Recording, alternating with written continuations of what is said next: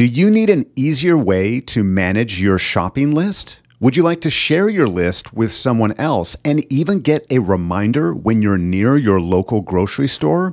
Well, in this video, I'm going to show you how to use Google Keep to create the ultimate shopping list. So to get started, you can go to keep.google.com and whether you're an Android or an iPhone user, you can download the Keep app directly to your mobile device.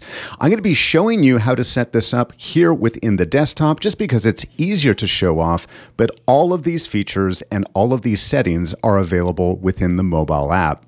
So to get started, we want to come up here and take a new note, but not just a regular note. We want to come up here and select this new list, this checklist icon. Now at this stage, you may think that we should just start typing in the items we need to buy. I can type in apples, I can start to type in oranges, but wait, before we continue with our list here, let's come back up to the title. And I want you to give the name of your list either shopping list or grocery list, maybe food list, and I'll show you why. Now, when I come back to my list down below, I'm going to start to type in the word bananas and look at all of these suggestions. Yes, in my case, I want bananas, but maybe it is banana bread some days. Maybe it's band aid some days. I'm going to select bananas. I'm going to come back to the next line. I'm going to type in MI, and yes, do I want to buy milk, milk powder? Maybe I'm in need of a mirror. It's going to give me a number of helpful suggestions based on the title of my list up here. So don't forget to give it a name such as shopping list. Now I've gone ahead and added a few more things to my list, just so we have a few more things to work with. But as you can see, as this list grows, it's going to be a lot more difficult to see what is on our list and also how can we categorize these into different sections? Well, the great thing here within Google Keep is that we can not only drag things up and down, we can drag things in a different order, but what is much more helpful is that we can indent our list. So I'm going to come up here to the very top I'm going to place my cursor in front of the A in apples and hit enter. That's going to allow me to create a new item above that particular item. And I'm going to add an item here called produce. And down below, you can see that the next three items are all going to be within the produce section. Next, I'm going to come to apples and I'm going to drag it over to the right. I'm going to do the same for oranges and the same for bananas. Now I've got this great category here where I can see all of the things that I'm wanting to buy in that particular section. I'm going to go ahead and repeat that process here down below. So maybe this is something I want to label as dairy. And again, we're going to move cheese and then we're going to move milk over to the right. Now you may think that that's a lot of movement, but once you've created these headers, once you've created these first level list items, we can continue to add things down below and they will stay within that indented order. So under bananas, I'm going to hit enter and maybe I'm going to enter in carrots. Maybe I also need to pick up some lettuce, so I'm going to enter that in here as well. The advantage is not only is it easier to see the different sections or the different categories, but what if I go shopping and I purchase all five of these items, but I don't want to have my phone out the entire time? Maybe I'm going to review once I've gone through the produce section. I can say, Yes, I've gotten everything here. I'm going to select one check mark, and that's going to cross off everything that is indented underneath that top level list. I can still come in here and uncheck a few things. Maybe I forgot oranges. And if you like, you can always go one at a time. But this makes it a lot more convenient. Let's go ahead and add one more here down below. This is going to be our bakery section here. And now we've got our bagels and our donuts in the appropriate category as well. But I'm actually going to do one more thing with our sample list. I really want these headers or these top level lists to stand out because you know how it is in a busy grocery store. There's a lot of things going on. You've got your phone out. You want to quickly and easily see these different areas. So, what I like to do is add an emoji to the front of these categories. I'm going to bring up my emoji menu here.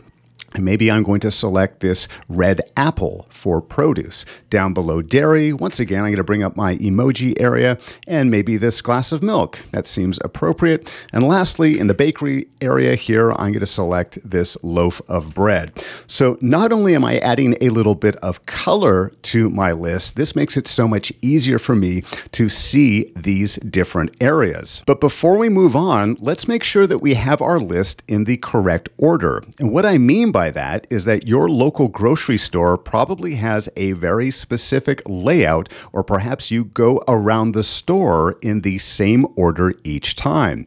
So, for example, the bakery is the very first place that I visit after getting my cart. So, what I'm going to do is we're going to come back here and drag the bakery area, but because this is the top level, everything down below is going to move with it. So I'm going to grab it, I'm going to bring it all the way up to the top, and don't worry, my bagels and my donuts have come with me. Maybe the dairy section is next. Well, I, that's no problem either. I'm going to bring that up to the top, and now I can have it in the order that I like, the order that makes sense as I travel around my grocery store. One more thing to mention when it comes to checking off the parts of your list. Here you can see I have things set up that I can cross things off either one at a time or the entire section if need be, and they remain visible. But you don't have to have it that way.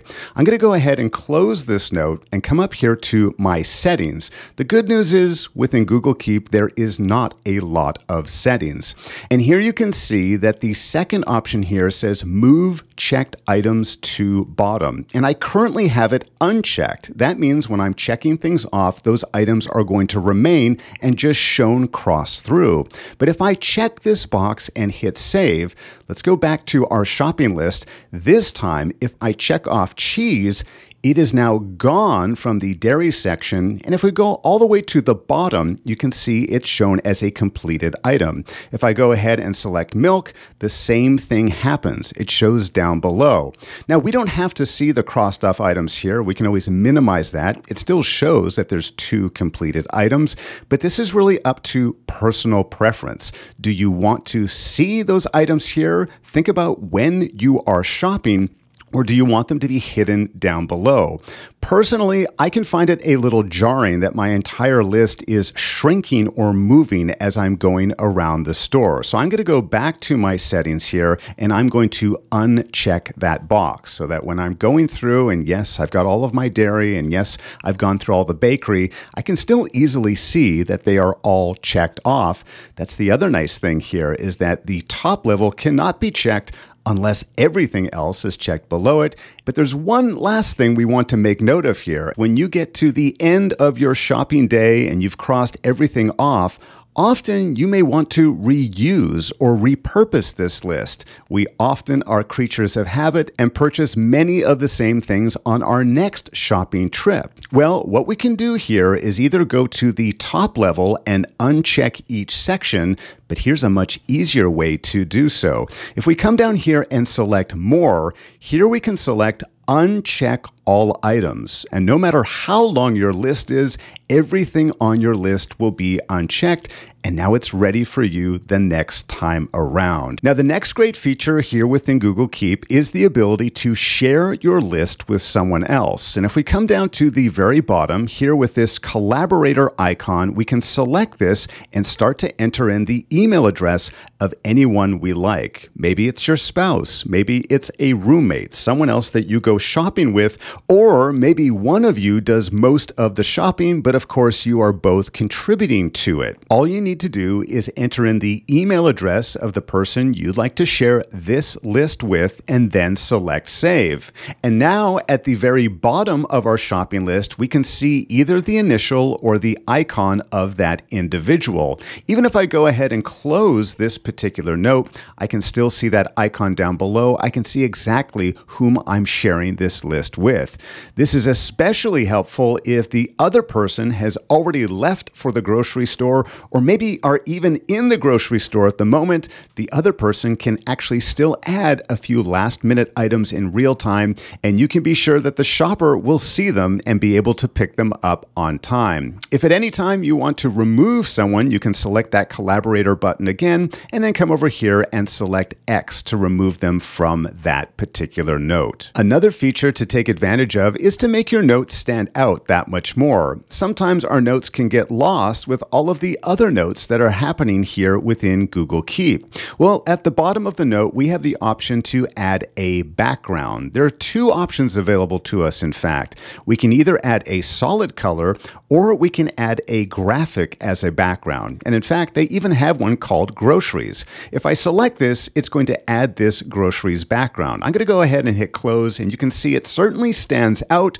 but maybe it's a little too confusing. Maybe it's going to be a little more difficult for me to see or read what is going on. So I'm going to come back to this background. I'm going to remove it, go back to the default, and maybe I'm just going to select a color like this yellowish sand color. That's going to still make it stand out, but it's also still easy to read right here amongst my other Keep notes. The other step, which can be very, very helpful, is to pin your shopping list. What that means is that it will pin this note to the top of your list. Again, whether you're using desktop or whether you're on your phone, we are often adding and editing our shopping list on a regular basis. And when you get to the store, you don't want to have to search or fumble to find out where it is. So by pinning your list, that can be very helpful as well. But maybe the best tip of all is the one I've saved for last, and that is by setting a reminder. Now, you may think that that's pretty straightforward. If we select that little bell icon, we can choose to pick a particular date and time. Maybe I want to remind myself to go shopping this Friday, and I can pick a particular time when I will be reminded. But better yet, there's a special type of reminder which will remind us when we are near a particular location. And since we are creating a shopping list, the place we are going to select is, of course, our local grocery store. I'm going to select pick place. In this case, I'm going to start typing in the word Safeway. And in my case, I'm going to say that I'm living in Seattle. This happens to be the one that is closest to me. Of course, you can enter in an actual address or just start to type in the name of your grocery store and your location. I'm going to select this one and hit save. After adding the location reminder, you will see it here in the bottom left hand corner. And if you hover over it, it will actually show you the precise address as well. What this means is that the next time I am near this particular location, as long as I have reminders and notifications set on my mobile device, I will receive a reminder when I'm near this particular store. Maybe I'm not even thinking about picking up some groceries, but if I'm in the area, how helpful can that be to get a location based reminder?